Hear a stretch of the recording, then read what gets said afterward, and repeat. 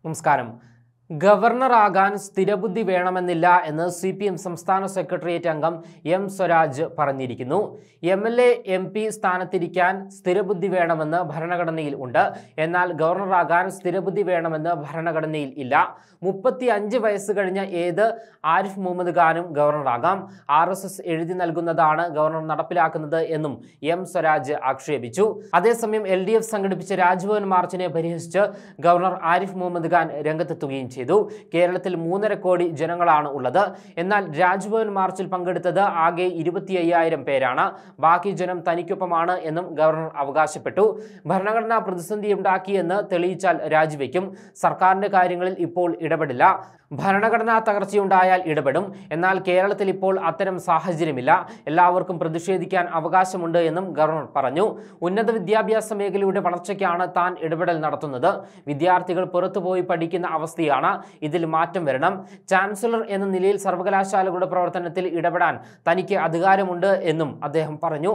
സർവകലാശാലകളുടെ കാര്യം വ്യത്യസ്തമാണ്.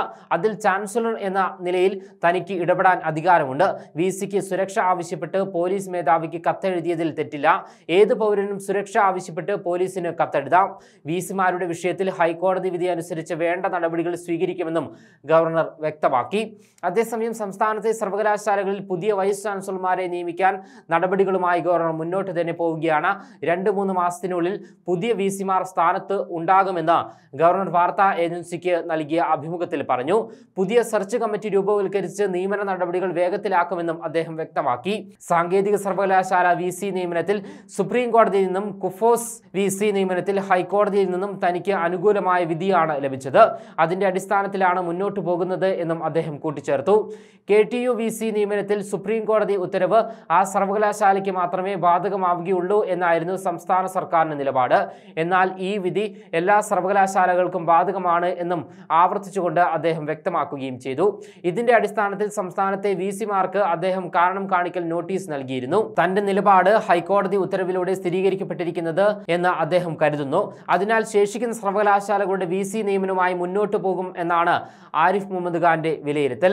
അതേസമയം തന്നെ ഭീഷണിയോ സമ്മർദ്ദമോ കുത്തുവാക്കുകളോ തന്നെ പിന്തിരിപ്പിക്കില്ല എന്ന് എൽ ഡി എഫിന്റെ രാജ്ഭവൻ മാർച്ചിനെ കുറിച്ച് ചോദിച്ചപ്പോൾ ഗവർണർ ആരിഫ് മുഹമ്മദ് ഖാൻ പ്രതികരിച്ചു. ഭരിക്കുന്ന പാർട്ടിയുടെ വകുപ്പ് മാത്രമാക്കി സർവകലാശാലയെ മാറ്റാൻ അനുവദിക്കില്ല. രാജ്യത്തെ നിയമനം നടപ്പിലാക്കുകയും ഭരണഘടന സംരക്ഷിക്കുകയും ചെയ്യുക തന്റെ കടമയാണ്. അതേസമയം പ്രതിഷേധിക്കാൻ എല്ലാവർക്കും അവകാശമുണ്ട് എന്നും അദ്ദേഹം വ്യക്തമാക്കി.